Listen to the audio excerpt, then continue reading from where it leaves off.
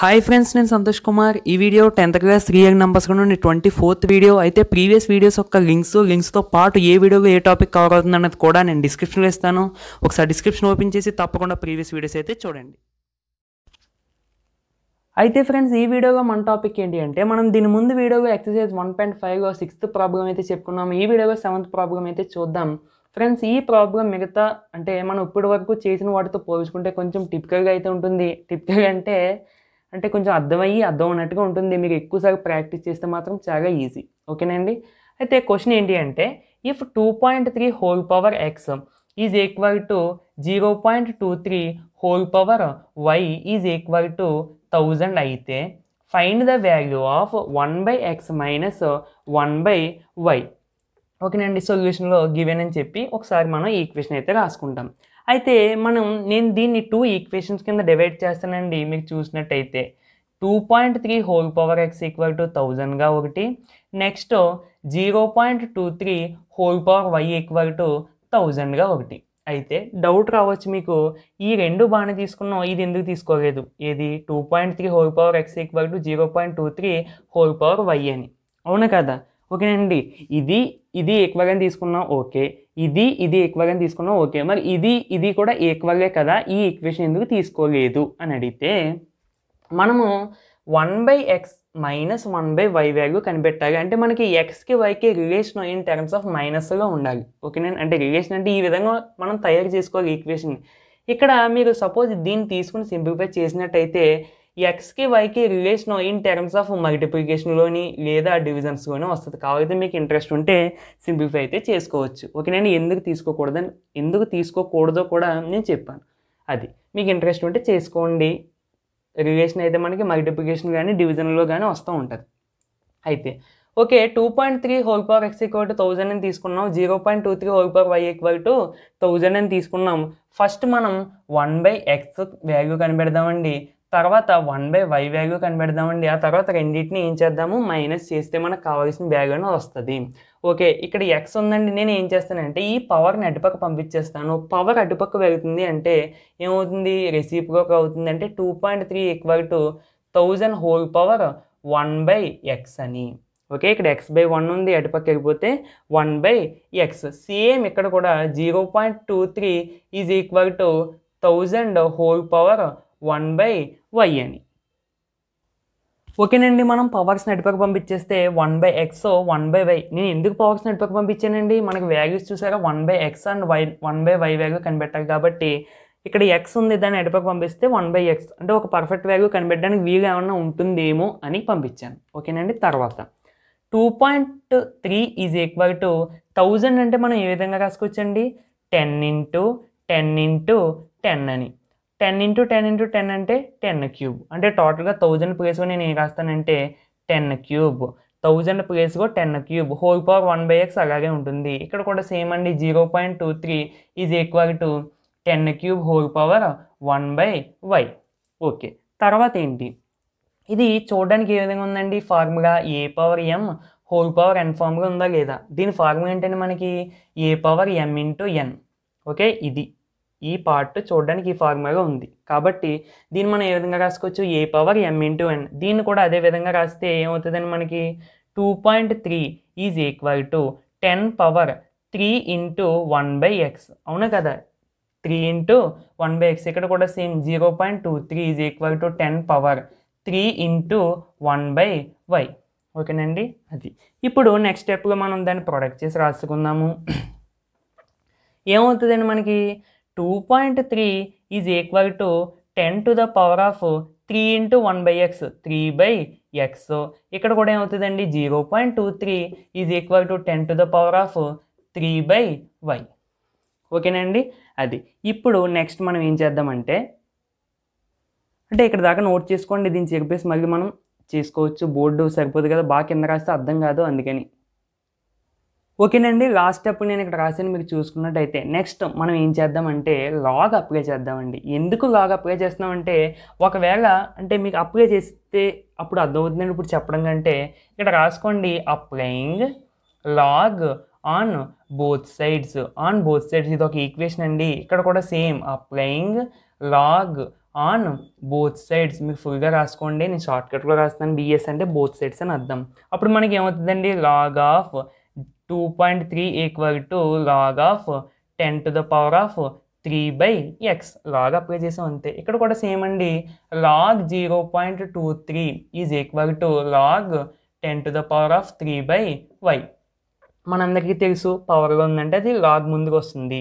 అంటే log two point three is equal to three by x into log ten next ఇక్కడ కూడా same అండి. Log zero point two three is equal to three by y into log ten. ఇప్పుడు మీకు అర్థం అవ్వకండి log ఎందుకు apply చేసాం ఇప్పటికీ అర్థం కాగేదా ఓకే చెప్తాను. చూడండి లాగ్ ఎందుకు అప్లై చేసామంటే ఈ పవర్ అనేది ముందుకు వస్తుంది. అంటే మనకు ఒక perfect value three by x మనం ఏ వాల్యూ కనిపెట్టాలి? ఇది మర్చిపోకూడదు. One by x minus one by y value కనిపెట్టాలి. ఇది కనిపెట్టాలంటే మనం ఫస్ట్ వన్ బై ఎక్స్ కనిపెడదాం. ఆ తర్వాత వన్ బై వై కనిపెడదాం. ఈ రెండింటిని మైనస్ చేద్దాం. ఓకేనండి? ఇండివిజువల్గా మనం ఈ వాల్యూస్ కనిపెట్టాలి కాబట్టి లాగ్ అప్లై చేసినట్టయితే ఇది ముందుకు వస్తుంది అంటే ఇండివిజువల్గా వాల్యూ త్రీ బై ఎక్స్ ఇక్కడ వన్ బై ఎక్స్ అంటే మనం దీన్ని త్రీతో ఇంటూ చేస్తున్నట్టు ఇక్కడ. ఓకే నేను దీన్ని మళ్ళీ త్రీ కామన్ చేద్దాం అంటే అంతా ఒక స్టెప్ చెప్పిస్తే ఎలాగ ఉంటుందని అందుకనే ప్రతి స్టెప్ చెప్పుకుంటా చెప్పుకుంటా చేస్తే మీకు అర్థమవుతుంది. ఓకేనండి జాగ్రత్తగా గమనించండి అర్థమవుతుంది. ఒకవేళ అర్థం కాలేదు అనుకోండి ఒకసారి వీడియో అయిపోయాక మళ్ళీ ఒకసారి బ్యాక్ వచ్చి చూస్తే ఇంకా క్లారిటీగా ఉంటుంది. ఓకేనండి అది. అయితే ఇక్కడ చూడండి ఫ్రెండ్స్ లాగ్ టెన్ ఉందండి. లాగ్ టెన్ అంటే వాల్యూ ఎంతండి మనకి? లాగ్ టెన్ అంటే వాల్యూ ఎంత? బేస్గా ఏమీ లేదు. అంటే ఎంత ఉన్నట్టండి? టెన్ ఉన్నట్టు. ఇది చూడడానికి ఏ ఫామ్గా ఉంది? లాగ్ ఏ బేస్ ఏ ఫామ్గా ఉంది? అంటే దాని వాల్యూ ఎంత? వన్ దాని వాల్యూ ఎంత? వన్ అంటే టోటల్గా లాగ్ టెన్ అంటే మనకి వాల్యూ ఎంత అండి వన్ అని. అంటే log two point three equal to three by x into one log ten అంటే వన్ కాబట్టి. ఇక్కడ కూడా సేమ్ అండి. Log zero point two three equal to three by y into one three by y into one అంటే three by why ఇక్కడ కూడా three by X ఓకేనండి? ఇప్పుడు మనకి టూ ఈక్వేషన్స్ వచ్చాయి. ఏంటి? Log two point three log two point three is equal to three by x అదేవిధంగా log zero point two three equal to three by y అని. ఓకేనండి? నేను ఇక్కడ ఏమనుకుంటానంటే దీన్ని ఒక ఈక్వేషన్ అనుకుంటానండి. దీన్ని రెండో ఈక్వేషన్ అని అనుకుంటాం. మీకు ఒక్కసారి గమనించాలి మనం ఏ వాల్యూ కావాలండి? One by x minus one by y value కనిపెట్టాలి. One by x minus one by y value కనిపెట్టాలి. బట్ మన దగ్గర ఇండివిజువల్గా three by x three by x అంటే త్రీనే త్రీ బై ఎక్స్ అంటే ఏంటండి meaning three into one by x అనే కదా అర్థం.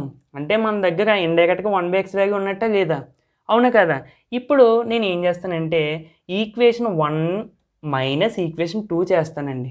ఓకే? ఎందుకు అంటే సపోజ్ నువ్వు ఈక్వేషన్ వన్ని టూని మైనస్ చేసావు అనుకో అప్పుడు నీకు ఏమవుతుంది? Three by x minus three by y వస్తుంది ఒక పక్క. అవునా కదా? చేసాక అర్థమవుతుందండి? చెప్తే ఇప్పుడు మీకు ఎలాగే ఉంటుంది. చెరిపేసి మరీ నీకు ఫస్ట్ నుంచి రాస్తానని చూసుకోండి జాగ్రత్తగా.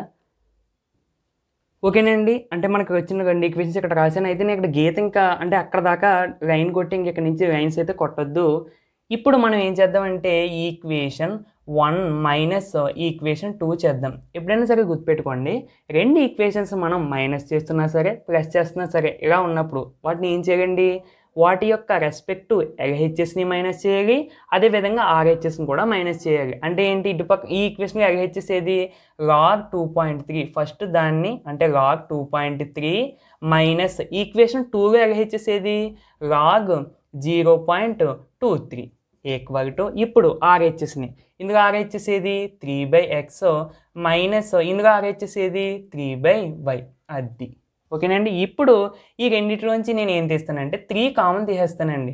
Three into one by x minus one by y చూసారా మనం ఇండైరెక్ట్గా అదే ఇండైరెక్ట్గా అంటే డైరెక్ట్గానే అనుకోండి ఇండైరెక్ట్గా కాదు. డైరెక్ట్గా మనకి ఏ వాల్యూ వచ్చిందండి? One by x minus one by value అనేది మనకు కనిపెట్టడానికి వీలు అయ్యింది ఓకే? బట్ ఇటుపక్క సింప్లిఫికేషన్ చేయగానే జాగ్రత్తగా చూడండి. ఇది ఏ ఫామ్గా ఉందండి? Log m minus log n ఫామ్గా ఉంది. గుర్తున్నాయి ఫార్ములాలు log m minus log n అంటే ఏంటంటే formula log m by n అని. ఓకే ఫార్ములాస్ చాలా చాలా ఇంపార్టెంట్ చూసుకోండి. అయితే ఇప్పుడు దీన్ని ఏ విధంగా రాసుకోవచ్చండి log two point three by zero point two three is equal to three into one by x minus one by y okay ఇప్పుడు చాలా జాగ్రత్త చూడండి. ఫస్ట్ ఆఫ్ ఆల్ మనం కంగారు పడకుండా two point three by zero point two త్రీని simplify చేద్దాం. ఓకేనండి? ఫస్ట్ ఆఫ్ ఆల్ ఏమి ఏ స్టెప్ కంగారు పడద్దని నేను ప్రతిదీ అర్థమయ్యేగా చెప్తాను. First of all two point three అంటే మనం దాన్ని ఫస్ట్ మార్చేద్దామండి. డిసెంబర్గా ఉంది కాబట్టి దాన్ని మార్చేద్దాం.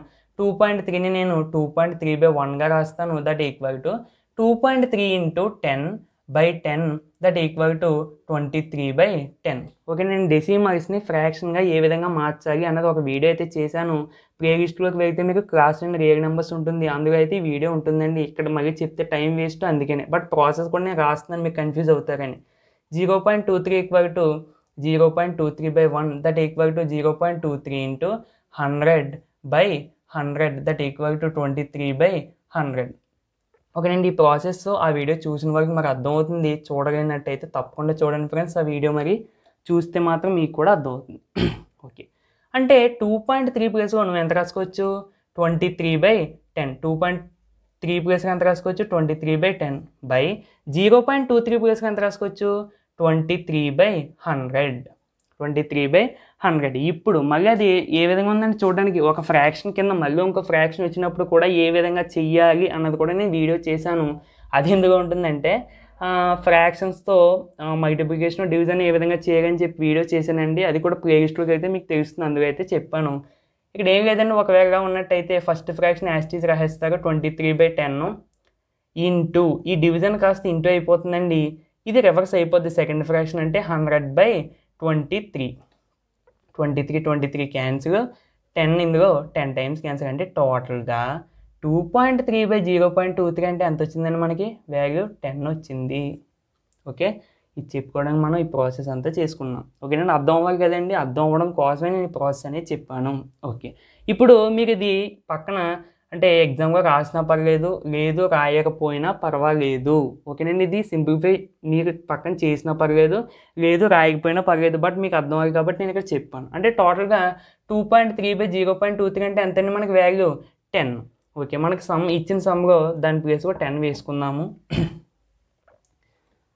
దీని ప్లేస్లోనే కదండి టెన్. అంటే log ten equal to three into one by X minus one by Y. Log ten value ఇందాక చెప్పుకున్నాం ఎంతండి one that equal to three into one by X minus one by Y ఇక్కడ త్రీ ఇంటూ చేస్తుందండి ఇటుపక్క పంపించేస్తే divide చేస్తుంది one by three equal to one by X minus one by Y అంటే టోటల్గా మనకి one by X minus one by Y value ఎంతండి sorry one by X minus one by Y value ఎంతండి one by three okay నేను some కొంచెం simplification పెద్దది plus కొంచెం టిపికల్గా ఉండని చెప్పాను కదా ఫస్ట్లోనే మీరు ప్రాక్టీస్ చేస్తే మాత్రం చాలా చాలా ఈజీ ఓకే ఫ్రెండ్స్ వీడియో అయితే